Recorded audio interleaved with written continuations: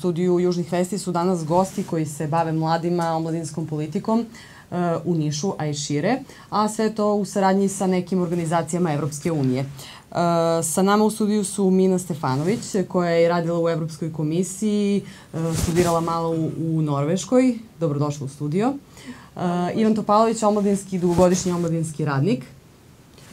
A sa nama je i Snežana Andrić iz Udruženja Mladi ambasadori. Dobrodošli. Hvala na pozivu. Uh, pa ovako, vi ste ti koji, eto, u gradu Nišu i šire uh, najviše radite sa omladinom. Uh, uvek se nekako pominje ta nezaposlenost, mladi su uvek nekako u teško zapošljivoj kategoriji. Da li je to, eto, da krenemo, Ivane, od vas, stvar koja najčešće muči mlade, eto, vi ste u neposrednom kontaktu sa njima, kada se vama obrate, kada dođu u kontakt sa vama? Pa mogu reći da kada baš razgovaramo sa mladima, oni kažu da, to je jedan od njihovih najvećih problema, ali kada malo dublje pričamo i malo širu sliku gledamo, mislim da trebamo gledati mlade kao deo društva u kome oni žive i cela priča oko mladih i nezapošljenost mladih je u stvari po meni lično posledica svega ostalog, a ne samo njihov glavni problem i uh, uzrok svih ostalih problema kao što su migracije mladih. Ali dobro, možda je on sa, taj problem nekako vidljiv, možda da, su ga pa, najviše, najbolje tako definisali. Je, tako je, tako je. Uh, dobro, kako su vaše iskustva? Pa ja bih se složila sa Ivanom, ono što je pomenuo, jeste to njihov možda glavni problem, ali nije sam, samo to problem, nije da samo oni razmišljaju o poslu, prosto mladi u Nišu generalno nisu zadovoljni sistemom u, koj u kome žive i zapravo oni ne vide mogućnosti kako mogu da se usavršavaju, kako da napreduju, prosto kako da tokom školovanja, tokom studiranja steknu neku praksu, ne samo sutradan kako će se zaposliti, nego prosto kako će tokom studiranja oni krenuti sa razvijanjem svoje karijere, što jer nekako mislim da smo svi svedoci da danas sve ono što studiramo i diplomu koju imamo nije dovoljno i zapravo na kraju ne znači ništa, da znači ono iskustvo koje imamo ono što znamo da radimo, a da mladi možda ne dobijaju dovoljno mogućnosti da se razviju tokom studije, tokom školovanja, a svakako na sve to utiče, zapravo, kao što sam rekla, sistem u kome žive i da oni ne vide svoju perspektivu u ovoj zemlji. Ja se, evo Mina, e, vi ste videli, e, našli ste način kako da se unapredite, vi ste tako i studirali u inostranstvu, pa kako ste uopšte vi došli do svega toga? Moja priča je krenula prilično rano, još u srednjoj školi i igrom u slučaju sam otišla na neki prvi trening i postala volonter u organizaciji tada Centra za ljudska prava. Ovi, tako se to nekako prelivalo, tako došlo i do mog prvog posla. Krenula sam da radim u nevladinoj organizaciji, onda je došlo i do drugog posla Tako da nekako iz tog aktivizma, volonterizma i nekog mog angažovanja je došlo do dodatnih, ne znam, do dodatnih stvari i aktivnosti koje sam radila koje su kasnije značili poslodavcima kao što je Sneža i, i rekla mladima u suštini um, mladi treba nekako više da obrati pažnju na stvari koje ih zanimaju van samog školskog sistema. U redu je i završavati srednju školu i fakultet, ali pored toga mislim da je prvenstveno lepo za samu osobu da obogati uh, svoje iskustvo onim što voli da radi. Da pronađe način gde može da volontira ili čak nešto sama da stvara. Nije potrebna možda ni organizacija. Recimo, ljudi koje zanima dizajn ili programiranje i slično, to mogu da rade na svoju ruku i da tako steknu neka iskustva koje su kasnije značajna za poslodavca. Tako da da, ja se potpuno slažem. Samo diploma fakulteta, bez ikakvog iskustva sa strane, makar neko volontiranje od par meseci ili volontiranje na Nišvilu koji se skoro završio, ovi veoma znači. Moja sestra je recimo prošle godine i preprošle bila volonterka na Nišvilu i ovog leta je to značilo da dobije svoj prvi posao. Uh, recimo na intervju se baš ispitivali o tom iskustvu. Tako da i volontiranje na Nišvilu od par dana može da bude značajno iskustvo i da presudi prilikom odluke poslodavca da li će zaposliti tu osobu ili ne. Mm -hmm. Koliko poslodavci u Srbiji e, vode računa o tome? Imate li neka, neke podatke? O volonterizmu, da, da, da, da, da. o nekom pa, angažovanju? U suštini je Nacionalna asocijacija praktičara i praktičarka omladinskog rada, to je NAPOR, to je mreža organizacije koje rade sa mladima u obliku omladinskog rada, su uradili jedno istraživanje, ja mislim, pre godinu dana. Dakle, s jedne strane su uh, pričali sa mladima, kakvo njihovo iskustvo pri kontraženja posla, s druge strane su pričali sa poslodavcima koje to kompetencije mladi trebaju da imaju da bi ih zaposlili. I nekako, i naravno i sa organizacijama civilnog društva ili nevladnim organizacijama, kako god ih nazvali, šta je to što oni nude mladima, kakve veštine, kakve kompetencije mogu da steknu tokom volontiranja. Jer volontiranje nije samo nešto raditi, nego tokom tog rada se nešto uči. Da li je to timski rad, da li je to liderstvo, da li je to odgovornost, šta god Ovaj, I ono što je zanimljivo je da u tom istraživanju koje je pokazalo da od 16 kompetencija koje sami e, preduzetnici kažu da je vrlo bitno prilikom zapošljavanja, čak 11 mladi stiču u organizacijama. Tako da ovo istraživanje o kome ćemo verovatno još pričati koje je izradila Klovna organizacija Mladih Srbije, e, sami mladi su takođe mapirali da među prva tri problema jesu nezaposlenost, drugi jeste vrednost i vrednostni sistem u zemlji i treći jeste obrazovanje. Dakle, sve ovo povezano o čemu pričamo i putovanje mladih i volontiranje i stav prema Evropskoj uniji i stav prema poslu, sve će to u stvari se pokazati da je to vrlo bitna stvar kako u stvari jeste vrednostni sistem naše zemlje i svih nas koji u njoj živimo. Tako da da, zaista poslodavcima znači mnogo da li je mlada osoba negde volontirala, da li je bila član neke organizacije, jer to njoj mnogo više govori od samog proseka. Jer kada na razgovor dođe mlada osoba, sa prosekom 10-0, to poslodavcu ništa ne govori, ne zna da li ta osoba zna da radi u stvari svoj posao. Ali kada tamo stoji da je volontirala na raznim pa evo i Nišvil da li možda ima motiva, možda to pokazuje da ima motiva da se usavršava da... I zna timski da bude igrač i da preuzme odgovornost i preuzme liderstvo, to mnogo govori o poslodavcu, o jednoj osobi i preće, ja iskreno mislim i u razgovoru sa njima, preće da poseti mladu osobu koja ima iskustva, a možda manji prosek, jer zaista na razgovoru za posao niko vas neće pitati koliki ti je prosek na studiranju, to prosto je zabuda. Hmm. Znaš da, kakve su vaše iskustva? Koliko su mladi zainteresovani eto da postanu mladi ambasadori? Pa jesu, zaista mi imamo mlade ambasadore i u Nišu, Krušecu, Novom pazaru i svake godine biramo novu generaciju i svake godine zaista imamo sve veći broj prijava, jer mladi ljudi e, sa jedne strane oni su željeni da budu deo nečeg većeg.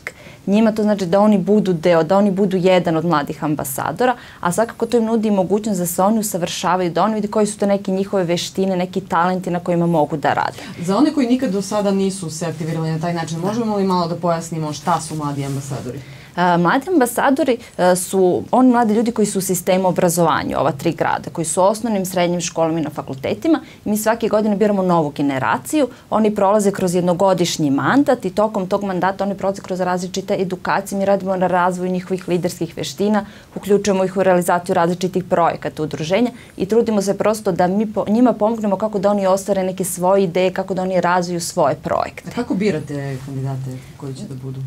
Bude otvoren konkurs konkurs, mi svakog leta otvorimo konkurs. Je to možda u školi ili šta, na fakultetu? Je pa ne, to presudno ili ne? Nije, nije. Tamo posle, nek, uvek nam je presudno ta njihova motivacija, zašto oni žele da budu deo organizacije i šta oni misle da njima mladi ambasadori mogu da donesu. Mi nakon te njihove, nakon njihovog aplikacijnog formulara mi radimo intervjue, tako da vidimo zapravo šta je to što oni žele od ove organizacije, kako oni mogu da doprinesu organizaciji, šta zapravo očekuju da njima donese sama organizacija i samo učešće u ovom programu. Tako da mi sada ove godine biramo šestu generaciju mladih ambasadora u Nišu i neko se ta priča već toliko razvila da sada svi ljudi znaju ko su mladi ambasadori, šta rade i zaista svake godine imamo jako odlične, kvalitetne mlade ljude koji žele da budu deo naše organizacije. Ali ono što ste pitali na početku, da zaista postoji veliko interesovanje mladih ljudi da se aktiviraju. Naravno, To je dobra stvar, je li? Jeste, to je odlična stvar. Mi imamo veliki broj mladih ambasadora koji biramo godišnje. Naravno, ne možemo mi da očekujemo uvek da će svi oni biti aktivni tokom godinu dana. Jer on nekome to bude zanimljivo u početku, neko nešto potpuno drugačije očekivao od organizacije posle par meseci odustane, jer nije to to ono što on želi ili ona želi ali svakako oni mladi ljudi koji žele da se aktiviraju, oni dobiju priliku i zaista mi na kraju onda uvek imamo tu situaciju da ostanu oni kvalitetni ljudi koji žele da rade. A u kom uzrastu se najčešće javljaju, pošto kažete i srednja škola i fakultet? Mi ih biramo na nivo od petog razreda osnovne škole, ali zapravo ono što se nama u prethodnih evo pet generacije pokazalo da srednjoškolci zaista jesu najaktivniji i to je situacija u sva tri grada. I u Kruševici, u Nišu, Novom Pazaru zaista srednjoškolci imaju najveću aktivnost, pokazuju najveću želju da rade, da se usavršavaju i zaista imaju najveću motivaciju. Da, eto tako je i Mina krenula, rekli ste malo pre iz, još iz srednje škole. Pa kakva su neka vaša iskustva bila? Eto, vi ste bili u, i u Evropskoj komisiji, je li tako? Da. Vi ste već govorili e, o tome kod nas u emisiji, ali malo da, da podsjetimo E, publiku i evo mlade koji nisu čuli e, ništa o tome? Praksa u Evropskoj komisiji je praksa koja je otvorena za sve mlade ljude iz cijelog sveta i zapravo nije ograničena na broj godina. Ono što je važno i što je jedan od kriketa... Uključujući i Srbiju, tako nema nikakve... Tako je, dakle za ceo svet, nije samo za mlade iz članica zemalja Evropske unije. tako da uključuje i Srbiju. Neki od kriterijuma su da je završen fakultet i tu se gleda prosek ocena, ali jako važna stvar koja se boduje ukoliko želite da, da odete na praksu u Evropsku komisiju jeste i koliko iskustva imate volonterskog, uh, da li ste studirali u inostranstvu, da li ste bili na treninzima i obukama u inostranstvu, koliko jezika znate da govorite. To su neke od stvari koje se cene i u suštini to može i da se poveže i sa vrednostima Evropske unije. Um, praksa je jako dobar način da u stvari radite u, u jednoj od institucija Evropske unije. Šta ste vi konkretno radili? Ja sam radila u, um, or, u zapravo, to je agencija za male i srednje preduzeća. I u toj agenciji ona u stvari podržava preduzetništvo na nivou Evropske unije i šire, u suštini na nivou cijelog sveta. Ja sam bila u sektoru koji je bio zadužen za organizaciju obuka ljudi koji rade sa preduzetnicima na terenu. I iskustvo je bilo jako zanimljivo i bilo je povezano sa mojim prethodnim radnim iskustvom jer sam pre toga radila na programu uh, podrške preduzetništva na nacionalnom nivou, tako da se to jako lepo poklopilo. A znači jednostavno jer dobijete tu neku veću i širu perspektivu. Vidite kako se to radi na, na velikom, na, jednostavno na, na tom nekom većem nivou. Imate mogućnost da budete sa ljudima iz cijelog sveta jer na praksi, praksa je recimo trajala pet meseci od januara do uh, juna. Uh, uh, i održava se dva puta godišnje i svake godine oni primaju po 600 praktikanata za cijelu Evropsku komisiju gde ima oko 20.000 zaposlenih. Tako da to je jedan jako veliki sistem i imate priliku i da učite uh, da rastete na, na drugačije načine, da budete okruženi svojim vršnjacima i starijim kolegama i m, zanimljive su recimo bile jako pauze za ručak a, gde zajedno ručamo pa se onda obično diskutuje u ovoj zemlji su izbori pa šta to znači za Španiju, šta znači za Portugaliju i slično. Tu poznate i prilike u toj zemlji. Tako je, tako je. Jednostavno živite u jednom sistemu koji je mnogo veći od onog što ste navikli, mnogo je veći od sistema recimo jedne firme ili jednog grada, čak i jedne države. To je jednostavno ta neka širina i raznolikost je jedno jako, jako vredno iskustvo, tako da topla preporuka za, Pretpostavljam da vam je značilo kasnije u nekom budućem uh, traženju posla u kod drugih poslodavaca? Jeste, jeste. U suštini značilo je, ja sam u tom trenutku uzela neplaćeno odsustvo, tako da, eto, čak i poslodavac, dok radite, ima razumevanja ukoliko želite da idete negde da se usavršavate i eto moja situacija je bila da sam ja dobila neplaćeno odsustvo da odem na, na tu praksu i da se vratim i naravno da donesem neka znanja i iskustva vezano uglavnom za treninge, unapređenje komunikacije u timovima i slično i da probam da to primenim u, u sistemu u koji sam se vratila. Uh, Ivane, pomenuli ste malo pre uh, ovo istraživanje krovne organizacije Mladih Srbije koje je završeno otprilike pre nekih mesec dana. Uh, ono jeste pokazalo neke zabrinjavajuće stavove kod mladih, pre svega i u to da oni zapravo uopšte se i ne nadaju da će naći posao nakon završetka školovanja, srednje škole ili fakulteta. Pa da li možete da prokomentarišete to malo, dakle to beznađe kod mladih? Pa u suštini kada pričamo o mladim ljudima nekako, kažem ponovo, mi ih izopštimo iz sredinu u kojoj oni žive. Ja mislim da možemo lako zaključiti kakve su vrednosti jedne države, u kom pravcu ta država vidi mlade ako pričamo sa svojim mladim ljudima. Ovi podaci stvari govore gde smo mi danas. Ako mi imamo mlade ljude koji preko 60% kažu da ne vide sebe u svojim gradovima u kojima žive, ako vidimo istraživanja koje pokazuju da preko 70% mladih ne vidi sebe u ovoj zemlji da će dalje živeti, to je alarmantno. Uh, mi ćemo se verovatno za 10-20 godina čuditi kako smo zemlja bez mladih ljudi, a već sada imamo podatke šta se dešava. Uh, kada pričamo o samom istraživanju vidimo da mladi prosto govore da nemaju mogućnosti da učestvuju u procesima donošenja odluka. S, kada pričamo o političkom sistemu, evo danas kada pričamo o samim narodnim poslanicima, imamo samo četiri mlade osobe mladih ima oko 17. Mladi su, da, da definišemo nekako mladi. Mladi su, su od 15 do 30 godina. Malo ta grupacija je široka, zato što tu imamo i srednjoškolce, ali zato imamo i doktore nauka, imamo i porodične ljude, imamo i ljude koji zaista mnogo toga mogu da doprinose ove zemlji. To nisu samo srednjoškolci kada pričamo o ljudima, to su zaista obrazovni ljudi.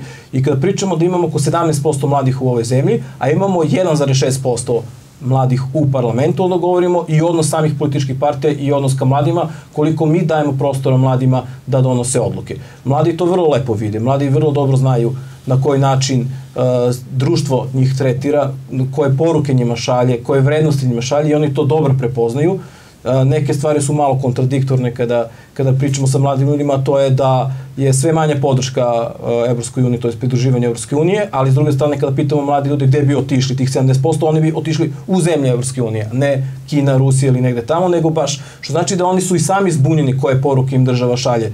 A to je da je Evropska unija uređena zemlja gde se zna ko šta radi, gde ima dobrih poslova, ali s druge strane neko hoće stalno nešto da nas porobi, ne žele da nam ništa dobro donesu. Sve nam je nametnuto. Tako je, i da onda sami mladi su zbunjeni i zato kažem, kada pričamo sa mladima i kada gledamo ove podatke, zaista su poražavajući, ali to je stanje trenutno u društvu, to je odnos ka mladima i države, to je državnog sistema i obrazovnog sistema i zdravstvenog sistema i bezbedonosti mladih, pa i svih nas koji smo zajedno sa tim mladima kojima živimo, kako mi njih posmatramo i šta pričamo.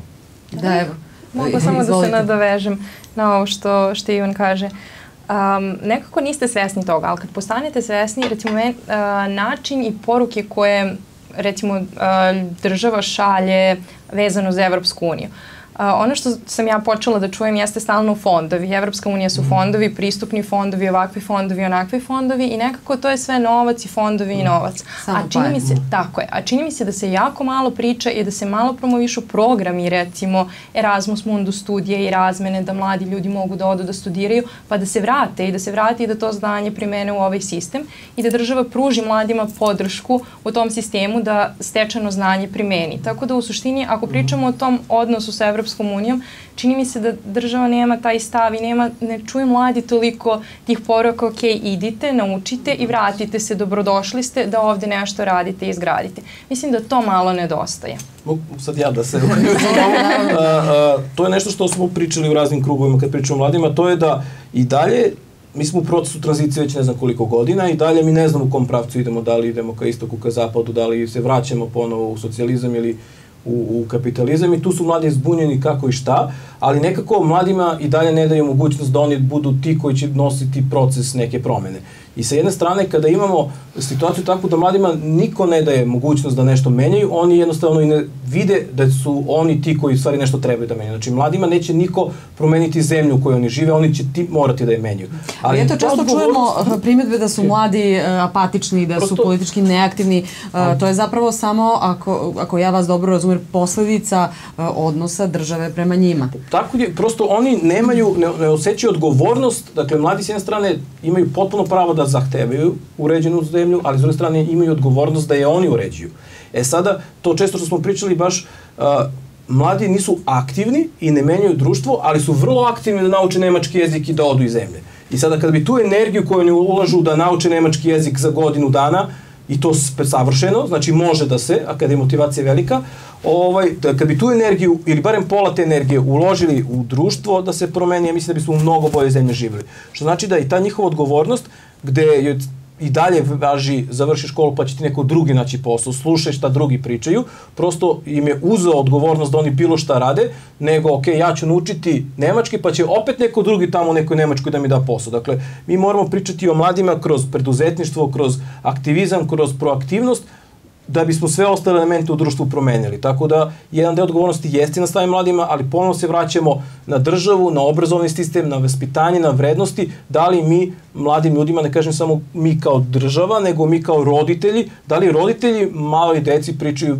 vi ste ti koji ćete nešto raditi, daju mogućnost da oni nešto donose odluke ili konstantno imamo slušaj učitelje, nastavnike, profesore, državu, slušaj uh, starije i ono na kraju u stvari imamo društvo koje je poslušno i koji sluša lidere i to se pokazalo u samom istraživanju da je sve veći broj mladih ljudi koji uh, ne smatraju da je demokratija dobar državni uređeni sistem, nego da je potreban veliki lider koji će dovesti stvari u red. Mislim, malo karikiram, ali to suština jednog dela istraživanja.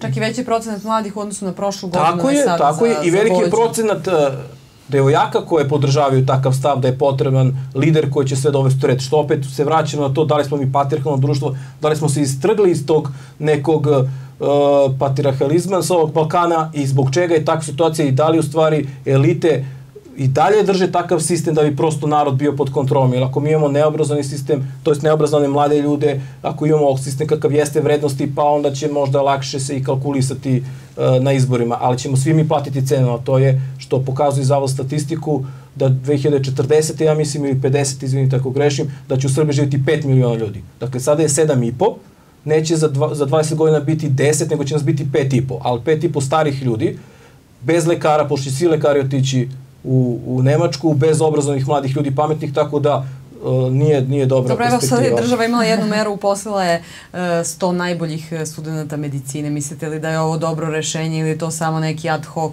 ovaj, e, slučaj koji bi trebalo malo da popravi situaciju?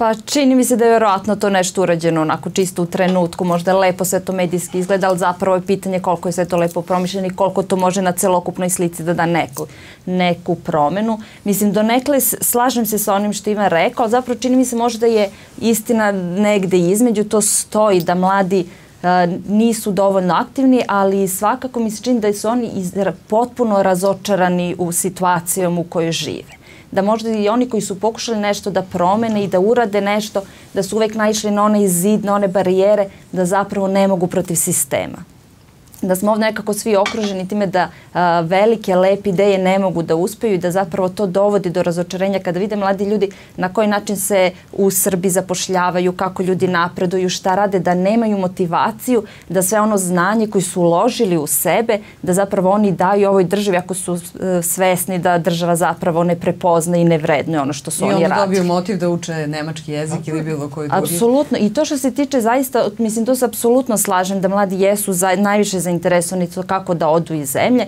i zapravo to je ono što ja svakodnevno viđem i u infokutku. Nama stalno dolaze mladi ljudi koji se raspituju za studije kako da odu, ali ne da odu da, i da se vrate. Zaista toga ne postoji. Zaista žele da odu kako bi ostali tamo.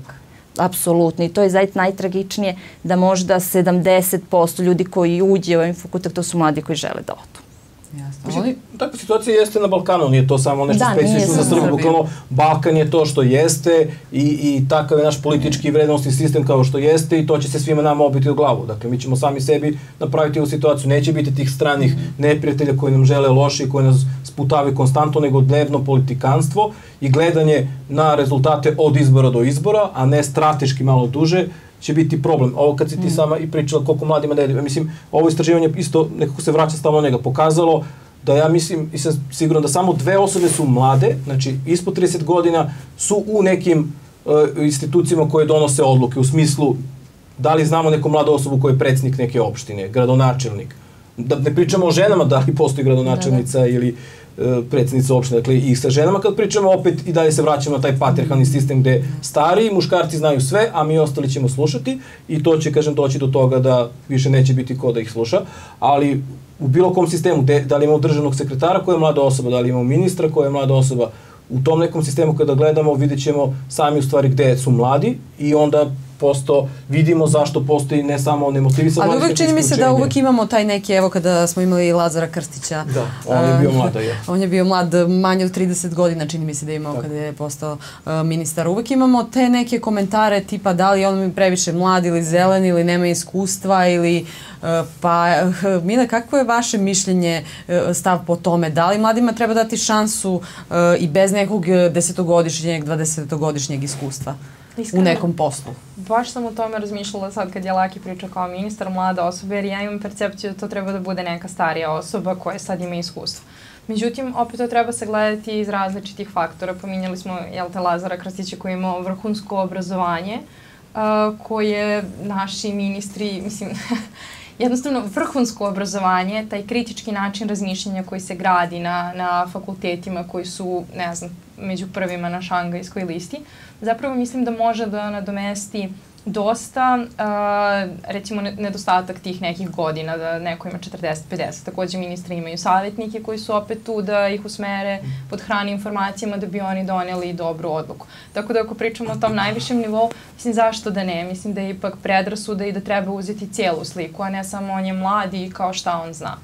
Što se tiče mladih ljudi na drugim pozicijama koje nisu ministarske, da, svakako treba mladima pružiti šansu i treba im pružiti uh, vođstvo negde, na, u stvari ne čak ni vođstvo, već podršku tu negde na početku i da ako se okliznu i pogreše nešto, da znaju da to nije smak sveta.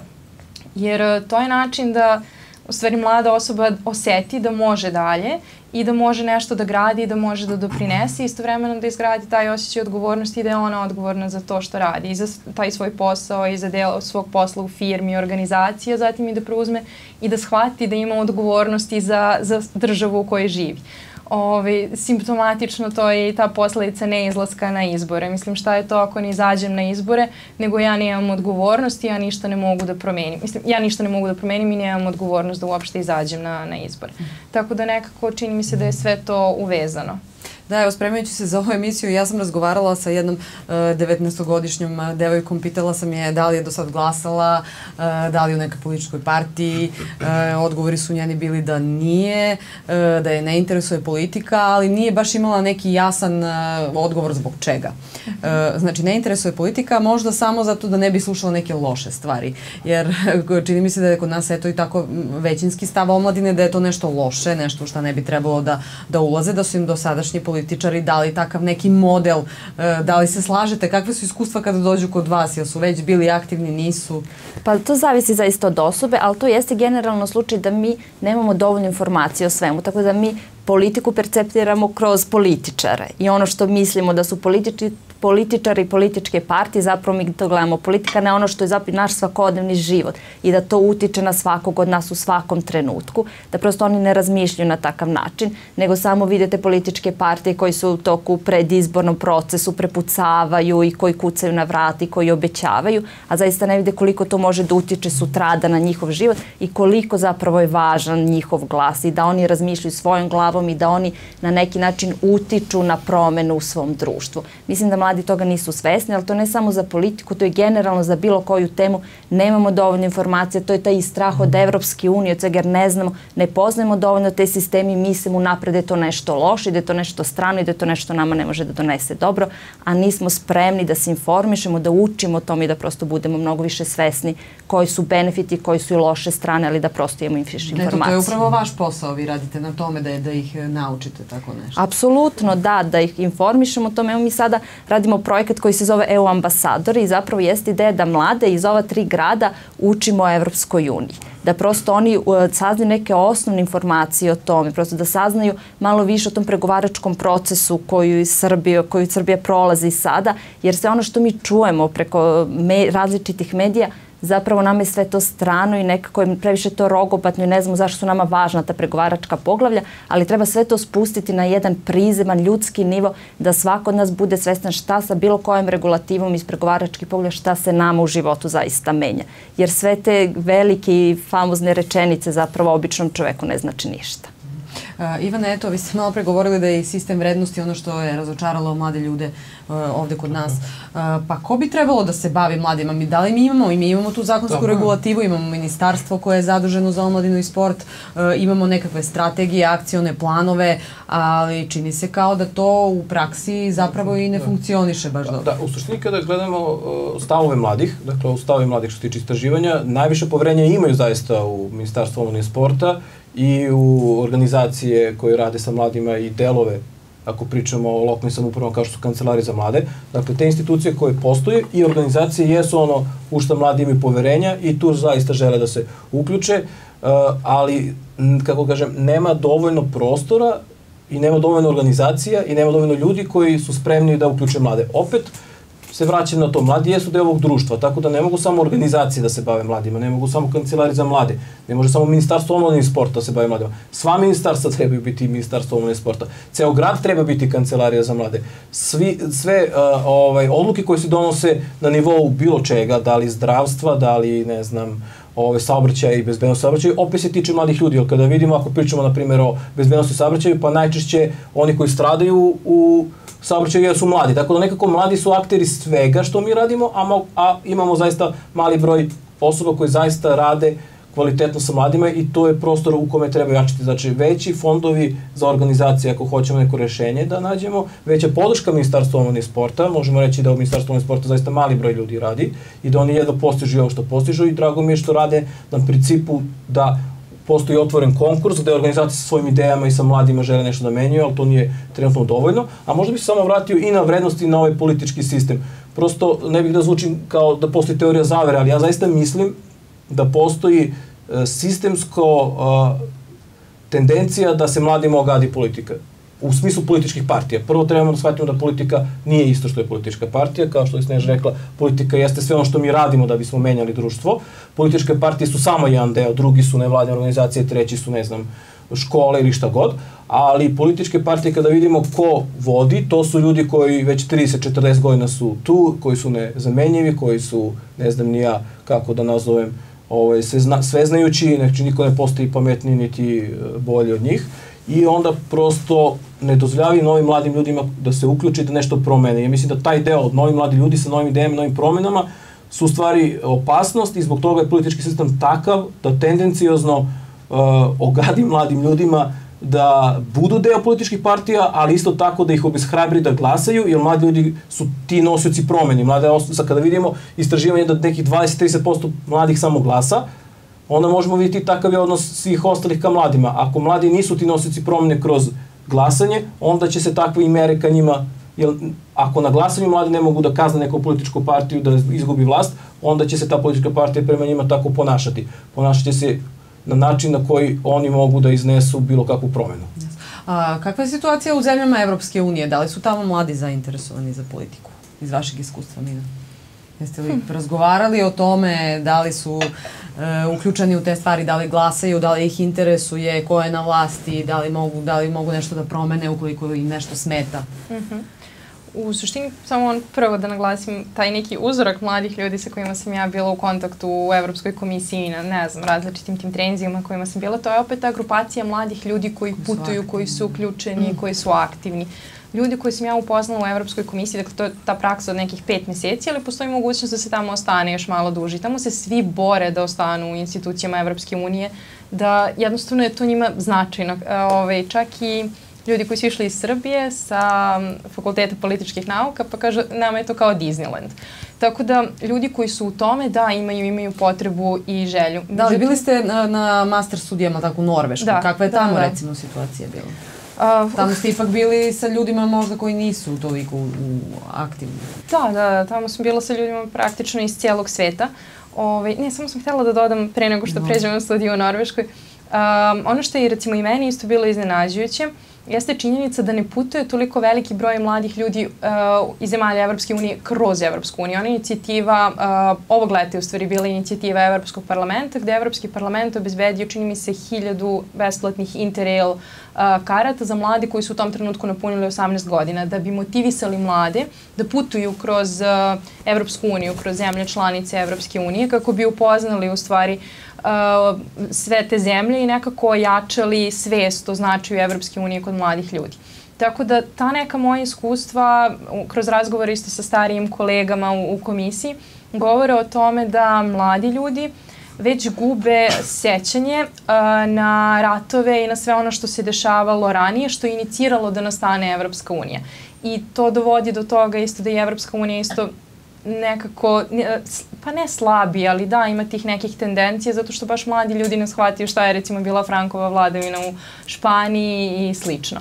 Tako da a, mislim da nismo mi kao Srbija crna rupa i, i baš jedini negativan primer. Mislim da su to generalne tendencije, ali uh, po nekom mom iskustvu i Evropska unija kao Evropska unija i same članice imaju više programa za mlade i više rade sa njima i ima više mladih ljudi na, na tim nekim uh, i rukovodećim pozicijama i u organizacijama I kad sam pričala sa, sa ljudima koji su zajedno na praksi sa mnom mnogo ranije, oni čak i na fakultetima dobijaju prilike da, da budu deo nečeg, nekog većeg sistema i onda vrlo rano, do 25. 6. recimo, do nekih značajnijih pozicija, što ljudi kod nas nemaju priliku. Mladi ljudi kod nas nemaju priliku. Tako da, eto, to su ta, to su ta neka moja iskustva. Samo bih dodao, prosto kada uporedimo mladu osobu, ne sad sa 25 godina, nego i mlađu školca, ili 20 godina da ima recimo malo stariji, i nekog iz Evropske unije, možemo vidjeti ogromnu razliku, upravo to.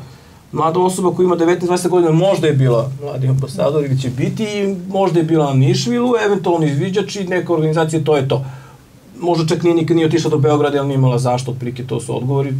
I prosto uživi u Nišu prešle dve ulice i to je to. Mislim, malo karikiram, ali to je to. A onda imamo mladu osobu iz Španije, Italije, koja s kojim sam ja pričao i meni je iskreno bilo sramota kada mi priča, kaže ja imam 20 godina, živio sam godinu dana u Italiji, pa u Španiji, pa u Francuskoj, sada planiram da upišem studije u Italiji, ali master ću, ne znam, u, Portugali i što ja kao koliko godina imaš 20 kao ovim Da, ali to je potpuno normalno. Oni ne razmišljaju o granicama, oni ne razmišljaju o sitnim uh, dnevno političkim stvarima, oni razmišljaju o sopstvenom izgradnji, o, o kapacitetima, o, o davanju najbolje što se tiče sebe i o tome da je svet mnogo širi od naše ulice i da znanje je svuda i da je svet ogroman i da tu ništa nije strašno. Mi smo neko uplašeni te mogućnosti koje imamo, koje mi na priča mali broj ljudi koristi zato što, a i to je ono što meni kontradiktorno, kad pričamo sa mladima, a oni kažu da je veliki problem nedostatak informacija, a u stvari je ek, ogroman bum u stvari izvora informacije. Znači nije problem doći do informa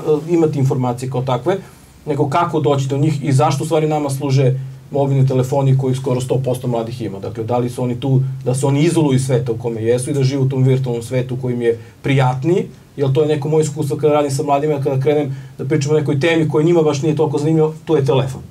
Dakle, oni apsolutno ne žele ništa da čuju van onog što njima prija.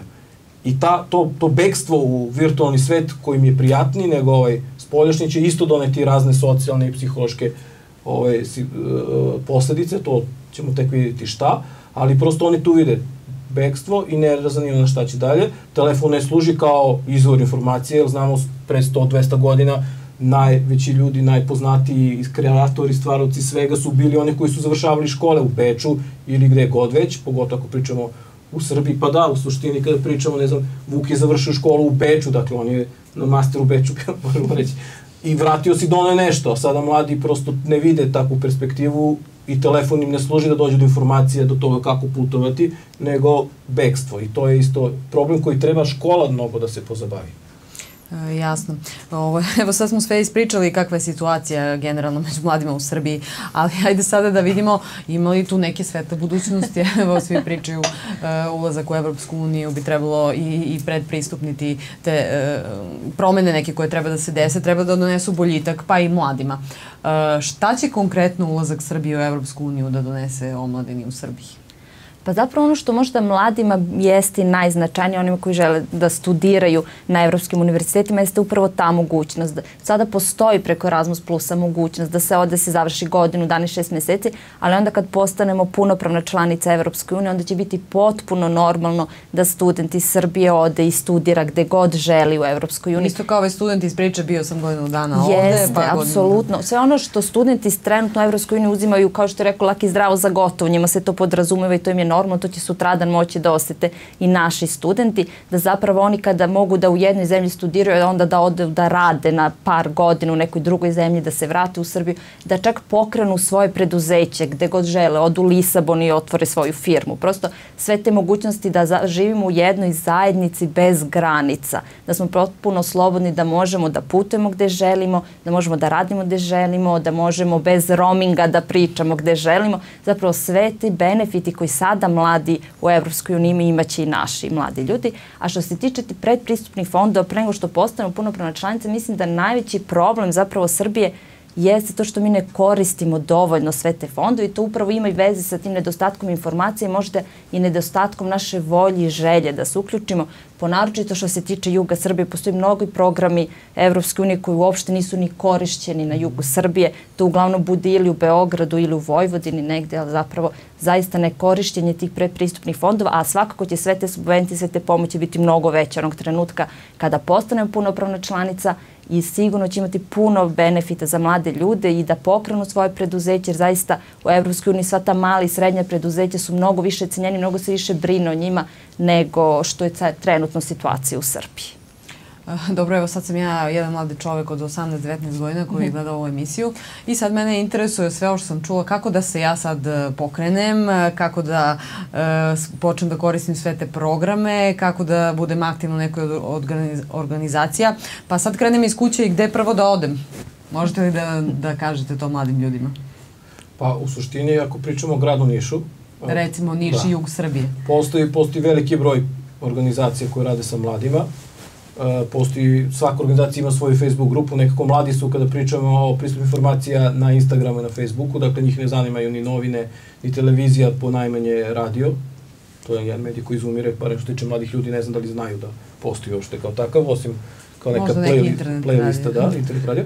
Ovaj, uh, prosto postoji veliki broj organizacija, sad ja ne bih rekao neku drugu ne, pa sad jel, neku favorizovao, dakle na, na internetu postoji jedna grupa koja se zove Grupa organizacija za mlade grada Niša, pa eto neko oda na tu Facebook grupu da vide koje se organizacije postoje, tu su one predstavljene pa mogu da vide šta ih zanima, mogu evo Sneže tu kao predstavnica mladih ambasadora neka dođu do, do, do nje i da popričaju, uh, prosto, uh, mislim, sada mi trebamo mladu osobu da, da joj kažemo ono što je potpuno nekako logično. Ako ona želi da se aktivira u nekoj organizaciji, pa onda u Google ukucati organizacije u Nišu u kojima mogu da se aktiviram. Izaći će zaista veliki spisak, mislim, delo je smešno, ali zaista to. Dakle, Pa ima li neke razlike, ima li tu nek, nekih suštinskih razlika? Pa, naravno, organizacije sva- do organizacije ili nema? Sva, organizacije imaju svaka svoj cilj, na različiti način rad. Neke su organizacije mladih, neke su za mlade.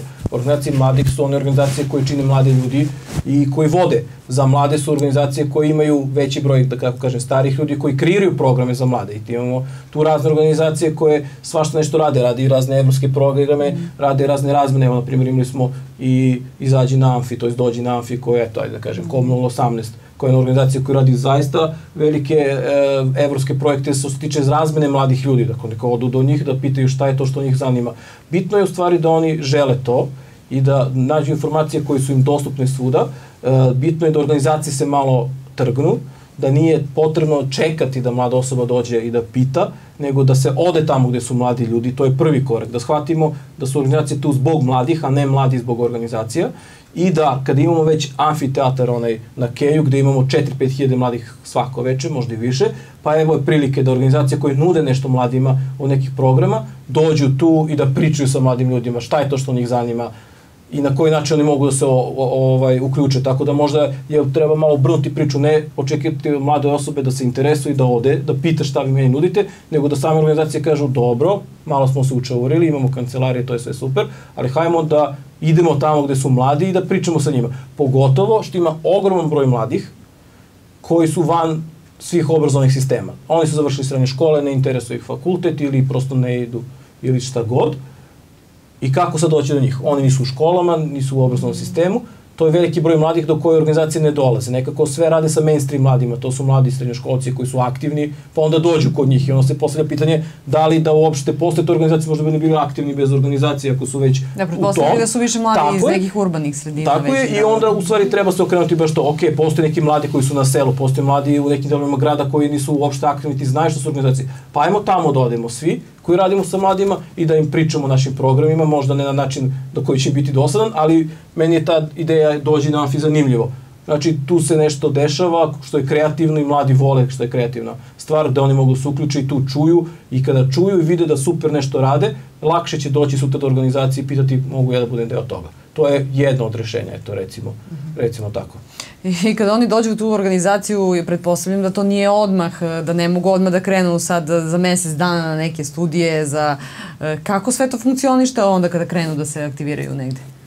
Pa evo, mislim, ja bih rekao neko svoje iskustvo. Prosto e, zavisi šta je interesovanje mlade osobe. Ako ona dođe i kaže, mene zanima da ja volontiram u nekoj zemlji, ništa više, ok, postoji ti programi, volonterski kampovi, razna druga, e, evropski volonterski servis, pa i neke omladinske razmene i to je to. Ako organiza- osoba dođe i kaže ja želim nešto ozbiljnije da radim, da se uključim, da radim na neke programe, postoji kod organizacije i, i ti oblici. Najčešće organizacije rade tako što imaju set obuka s kojima polako mladu osobu uključuju u organizaciju tako što je edukuju koje su njene i obaveze, ali i prava i na koji način mogu da oni sebe unaprede. I ono što je moje neko iskustvo je da kad mlada osoba, najteže je taj prvi korak, kada mlada osoba otvori vrata i uđe u taj svet koji je mnogo širi od njenog stana, telefona i amfija, nego da postoji mnogo veći svet i mnogo bogati svet i taj svet je najčešće potpuno besplatan, u smislu ne plaća se put, smeštaj, hrana, ništa, najčešće je sve to pokriveno, onda ona shvati koliko je to super i onda se nekako navuče na, na civilni sektor, to je na nevladne organizacije i onda stalno putuje. Tako da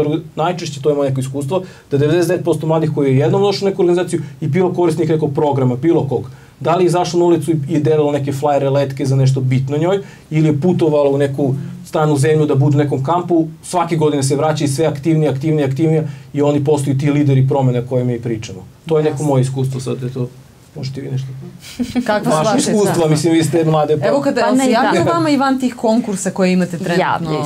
Da, da, samo što je naša situacija specifična, mi raspisujemo konkurs jednom godišnje, tako da van tog konkursa niko ne može da postane mladi ambasador, jer rekli ono, mandat im traje godinu dana, ali se javljaju tokom cele godine, mi ih uvek uputimo na to da ćemo u avgustu raspisati konkurs, ali se potpuno slažemo sa ovim što Ivan rekao, zapravo zavisi koja je organizacija, ali svakako uvek je ono save da se javljaju, da traže i nekako se meni uvek čini za one koji su vredni, radni, pametni, da sami mogu da se snađu, zaista nije potrebno da mi njih vučemo za rukav i da im lupamo na vrata, prosto da oni sami ako žele da se aktiviraju, postoji mogućnost u Nišu. Koliko god se nama činilo da su u gradu ništa ne dešava, zaista se dešava, postoji puno organizacija koji zaista odlično rade sa mladima i treba iskoristiti što da ne probate par meseci u jednoj ako niste zadovoljni, mislim postoji izbor što na kraju smo jeste. u odnosu na, na sever zemlje, na Beograd? Ima li potrebe da se ide tamo da bi se napredovalo? Eto, da ne kažemo samo da mladi idu e, i u druge zemlje, da idu Da. u Nemačku, e, Norvešku i ostalo, nego idu li u Beograd, Novi Sad, e, iz Niša, da li iz manjih gradova dolaze u Niš, jureći možda za nekim, nekom budućnošću? Kakvi su vaši utisci? Moje neko iskustvo, mislim, možete vi da reći svoje, moje iskustvo je da Niš u stvari održava to što je univerzitetski centar.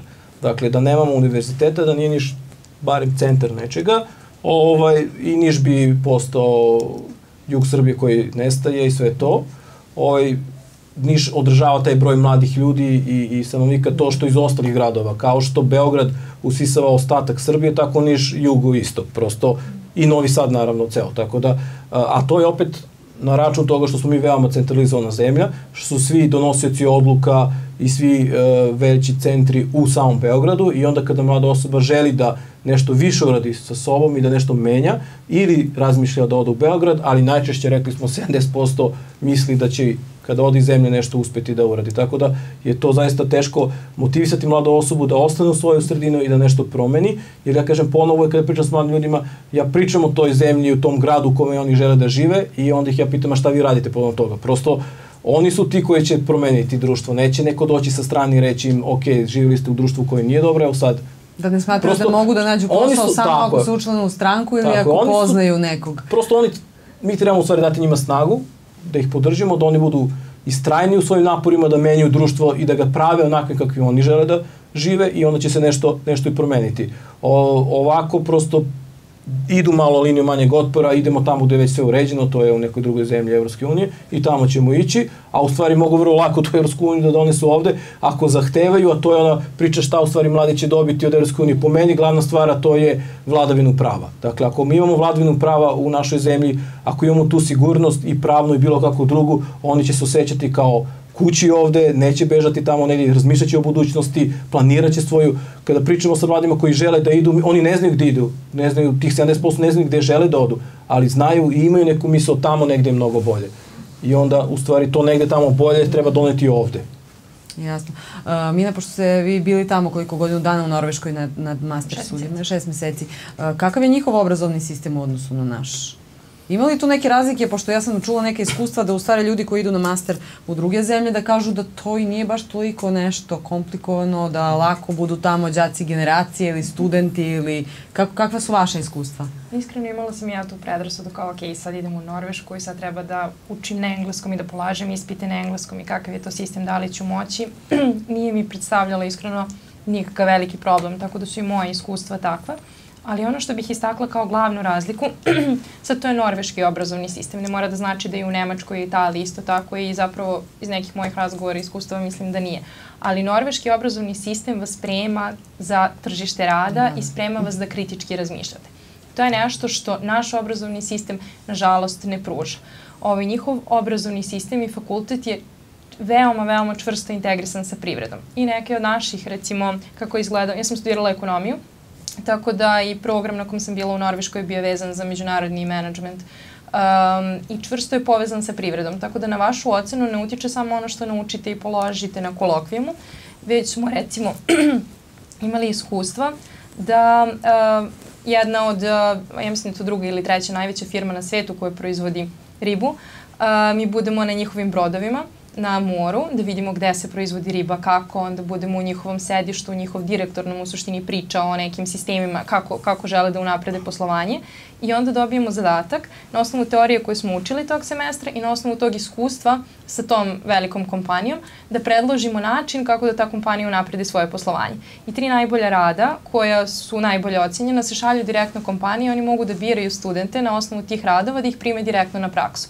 Tako da vi praktično imate odmah ulaz u kompaniju, Ove, a i dok studirate čak i da nadobijete tu priliku da radite u, u toj kompaniji ili u nekoj drugoj kako god, vi jednostavno radite na realnim slučajevima koji su realno vezani za privredu. A, takođe, veliko iznenađenje mi je bilo na, na ispitu gde, recimo, kako se boduje njihov, njihov ispit. Ukoliko, recimo, imate zadatak da uporedite dve različite ekonomske teorije, ako i samo napišete ovo jedna, ovo je druga, dobijete, ne znam, 8 poena. Ukoliko uporedite i, ne znam, dodate još neki kontekst, dobijete 9, a ukoliko uporedite i date svoje mišljenje zašto je to ovako i onako, e, onda dobijete najvišu ocenu, to je desetka. Kod nas, nažalost, moje iskustvo je više bilo čast izuzecima, imala sam zaista neki od divnih profesora na ekonomskom fakultetu, ali uglavnom na našim fakultetima ispriča mi šta sam ti rekao na času i šta piše u knjizi. Profesor dođe, ispriča svoje i to je to. To je to nije jednostavno dobar sistem jer želite ljude koji žele da razmišljaju.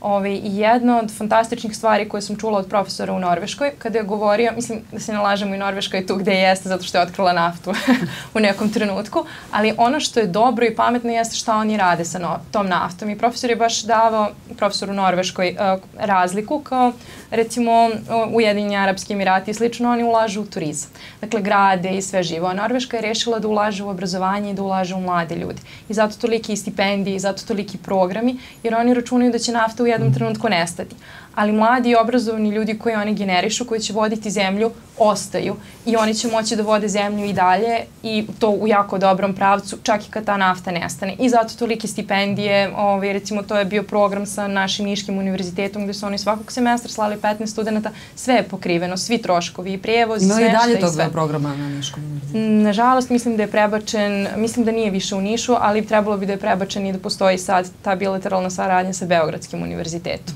Ali znači sada samo studenti ne. iz Beograda mogu da, da, da. da imaju tu, tu šansu koju ste vi imali. E, da damo i gledalcima, možda nekom mladom čoveku koji gleda ovu emisiju, e, šansu da, da postavi pitanje na Twitteru koristeći hashtag JVLive. A pre toga da mi, e, eto, a ukoliko stigne neko pitanje, odgovorit ćete, da vidimo da li imate neku poruku za mlade ljude. Da krenemo od vas, Snežana.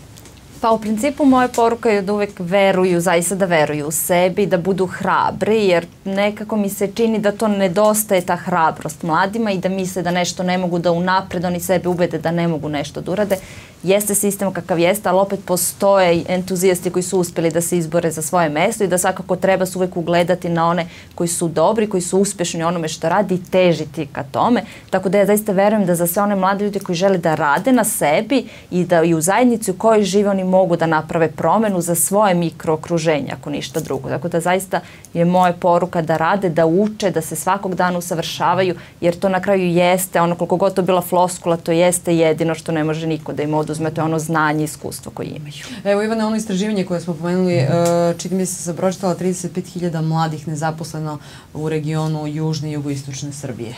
Da veliki broj mladih je... Šta nam to govori, evo za kraj da, da, da kažem? Pa govori o tome da u suštini uh, najveći potencijal ove zemlje stoji u, u tom nekom vakumu i ne koristi se. Dakle, mladi su ti koji, kažem, ponovo su nosaci promene, koji su najkreativni, naj, trebalo bi da kritički mogu da razmišljaju, da ih to obrazovni sistem sprema, da se obrazovni sistem oslanja na kompetencije, to jest na ono što mladi mogu da urade, a ne na gradivo samo kao takvo. I onda će se možda ovaj, ova situacija promeniti i mladi moći da iskoriste svoje potpune potencijale. Dakle, mladima treba dati priliku, treba i sami mladi da zahtevaju, dakle, apatijom i, i uh, odlaskom iz zemlje se neće ništa promeniti ovde. Dakle, samo treba biti hrabri, glasniji i ima dovoljno organizacija koje će stati iza njih. Ako oni misle da nijedna organizacija nije dobra, mogu sami da se organizuju da nešto promene. Neće im niko doći sa strane da im promeni društvo u kome oni ne žele trenutno da žive. Nego će oni morati da menjaju to isto društvo, ako žele da ostanu ovde da žive i da se dosta toga menja. Dakle, nije to sve crno, evo ja gledam kada sam ja bio mlada osoba, nije postao ovaj učenički parlament, nije postao studentski parlament, organizacije možda nisu postojale, nešto malo su radile, sad imamo sve to, volonterski međunarodni kampovi nisu bili, nije bilo vize, dakle sad ima toliko prilike koje mladi mogu da koriste, a ne koriste. Dakle, neka koriste malo telefon da vide šta je to šta u svetu postoji, da mogu da putuju potpuno besplatno, da mogu da upoznaju druge kulture potpuno besplatno i samim tim korakom da budu hrabri, da se ništa neće njima desiti ako otputuju u Portugaliju na 10-15 dana i bez ikakvih troškova i nauče i upoznaju neke nove prijatelje za ceo život i vrate se potpuno bogati i donesu tu kulturu kod nas. I ako se čuje taj glas mladih jači i ako oni budu sami ujedinjeni i, i glasni, možda je vreme za neku omladinsku političku partiju, ne znam. Imamo penzionersku partiju, nemamo omladinsku partiju, ne znam. To je jedan vid. Ako nećemo, eto, organizacije možda hoće tako da se ujedine. Dakle, moraju samo da budu snažni svojim stavovima i, i uspeće da izgovori to što žele. Eto, Mina, vi ste se ipak vratili u Srbiju, tako, posle svega toga. Imate li vi, što se toga tiče, neku poruku za, za mlade ljude pa, u Srbiji? U suštini da, i, i Sneža i Ivan su rekli puno, puno lepih stvari. Ja jedino mogu da se nadovežem da mi kao mladi ljudi treba na prvo mesto da preuzimamo odgovornost za sebe i za svoje i obrazovanje i, i, i ta neka iskustva koja kao što smo čuli danas ima ih puno gde možemo da, gde možemo da steknemo različite iskustva da jednostavno gradimo i obogaćujemo sebe kako nam prija ali zatim onda i da vraćamo zajednici i da preuzmemo i tu odgovornost za zajednicu i za društvo u kome živimo jer to smo, to smo isto mi. E, hvala vam puno na gostovanju u ovoj emisiji. Ja se nadam da će, eto, e, ako ne e, sad odmah, makar postepeno i dok budemo postali članice Evropske unije, da sva, sve ono o čemu ste pričali zapravo postane realnosti za omladinu u Nišu, u jugu Srbije i u celoj Srbiji opšte. Hvala vam još jedan na gostovanju. Hvala vam na pozivu. Vi ste gledali debatu Južnih vesti, ja sam Vesna Milić.